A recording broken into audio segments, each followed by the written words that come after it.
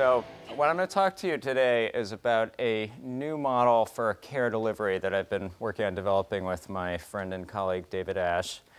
And in essence, where we start here is healthcare delivery in 2011. So, we have a healthcare system that is really based on reactive visit based models of care. You get sick, you go to the doctor. And there's several problems with this. Well, one is that this is in large part a byproduct of the fact that health financing is largely based on a fee for service model where providers are paid money when you go to see them. And healthcare providers, even if they wanted to change this model and focus on keeping people healthy, don't for the most part have really good tools to do that. So if I have a patient who's morbidly obese and I have seven minutes to see them, I don't really have great tools at my disposal where within that time, along with all the other things I'm supposed to do, I can figure out how to really help this patient solve their problem.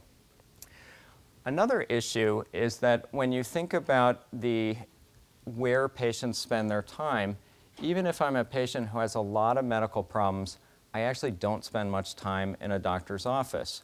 I might spend 20 minutes every three months. If I have a chronic illness, I might spend an hour a month with maybe five or six different providers.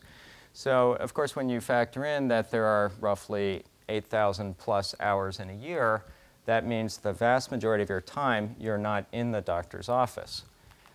So, the issue here is that lots of studies have been showing that individual behavior is one of the key drivers of U.S. healthcare issues, both in terms of bad outcomes. So when we look at causes of premature mortality, much of what we're dealing with here are factors that are very difficult to change. So I can't really change somebody's genetic predisposition using current technology. I can't really change their social and environmental circumstances. A relatively small part of premature mortality is actually due to inadequate health care, and much of it is due to behavior patterns. So there's lots of statistics that support this assertion. About 70% of the US population is overweight or obese. We spend about $2.5 trillion a year on treating patients. Uh, about 97% of what we spend is on treating patients as opposed to on preventing disease. So the, one of the issues to think about here is when you think about, well, what do we do about this and what kind of interventions do we think about? We have to think about how people make decisions. And, you know, of course, we're taught in our standard economics courses that people are rational expected utility maximizers. And to some degree, this is true. You know, to some degree, people think about the future, they think about the probabilities of different events that could happen to them, how good or how bad they'd feel if outcome X versus Y happened. But as we know from lots of work in behavioral economics, that's only part of the story. And there's a lot of other factors that go into decision making. We know that people very heavily favor immediate gratification. They're very loss averse. They're overly optimistic. They're very susceptible to framing effects. Their emotions often affect what they do. And that's, of course, particularly true when you have an acute illness. There's lots of issues around self control when we think about the issues people face when, for example, they're trying to stop smoking or control their weight, it's obvious that's, that's often part of, the, part of the challenge. And what we need to think about here is that a lot of these decision errors really make unhealthy behaviors much more likely, and we have to figure out how to factor that into what we do. So one of the approaches that large employers are taking is they're really moving towards using financial incentives in various ways. And the, a recent survey by the National Business Group on Health and Towers Watson suggested that about 50% of large employers are using incentives for healthy behavior in 2011. This is going to be an estimated 80% this year. And one of the things I want to point out in terms of why employers are moving in this direction is there's a fairly pervasive problem in the US of focusing on the present as opposed to the future. So this is an example of uh, what has happened over time in terms of the rate of growth of Starbucks versus payday lenders. And you can see that although Starbucks is quite ubiquitous, payday lenders have grown at about triple the rate. So when we're talking about health behavior, this isn't really a unique phenomenon. We have fairly pervasive problems with people focusing on immediate benefits or immediate costs as opposed to future benefits and future costs.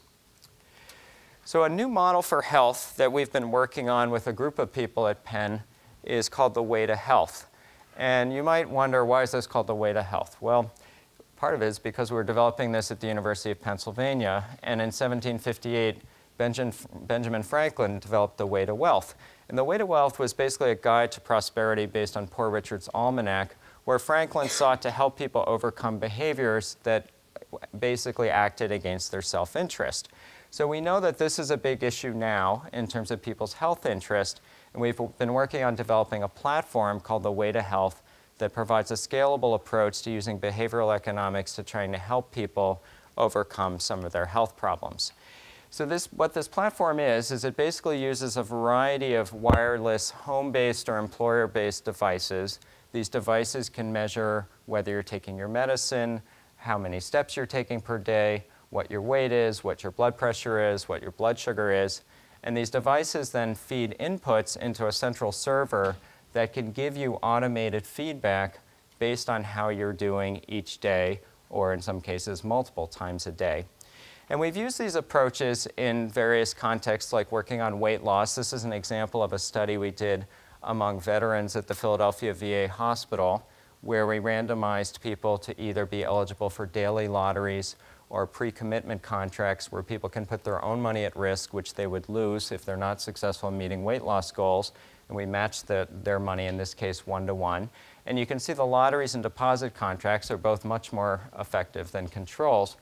But the challenge in running an intervention like this, when you think about how do we operationalize a behavioral economics intervention, is that if you do this manually, it's actually quite intensive. Uh, so, for example, when we've done this in the past, uh, we always had done this manual, and you, you, can see there's all these steps involved in terms of calculating what sort of incentive participants available, eligible for, giving them that feedback, uh, figuring out how to verify what they're doing, transmitting messages to them, and then transferring payment. So with this new platform, now this is all automated where you just give the participant access to the device, the device transmits the information, the server then can calculate what sort of feedback they should get through whatever modality the participant chooses, and then we can electronically transfer them funds. So it's a much more scalable approach to thinking about how do we automate some of the hovering that we might want to do for high-risk patients. Because if you think about other approaches to doing this, for example, using personnel and case management, there is no way that you could afford to pay people to have this ongoing dialogue with each patient every day about all their measures. It just would not be economically viable. And if you think about where this might lead us, is what we're hoping, and I don't know if 2014 is, is realistic here, but I put it down as an aspiration. So hopefully this will lead us to a proactive, non-visit based model in which we can give inputs to providers on what their patients are doing at home we can then give pre-specified automated feedback to patients. We can use a variety of behavioral economic engagement strategies to keep people engaged in using these devices and engaged in their health, using, using either financial incentives or various types of social incentives. Um, we can then think about how do we create a model in which we have health financing that's based on caring for a population and keeping them healthy as opposed to a health financing model that really revolves around treating people once they get sick. And another piece of this, which I think is going to be really important, is thinking about how various other organizations fit into this picture as, in essence, allies in terms of health delivery.